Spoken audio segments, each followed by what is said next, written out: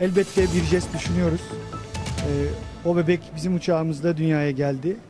Umarım e, o bebeğin e, eğitimi ve daha sonra da e, iş hayatına başladığında Türk Hava Yolları'nı tercih etmesi noktasında elimizden geleni yapacağız. Ve e, uçağımızda meydana gelen bebeği ileride bir Türk Hava Yolları çalışanı olarak aramızda e, görmek istiyoruz. Bununla ilgili girişimleri de ilgili makamlar ve aileler nezdinde yapacağız.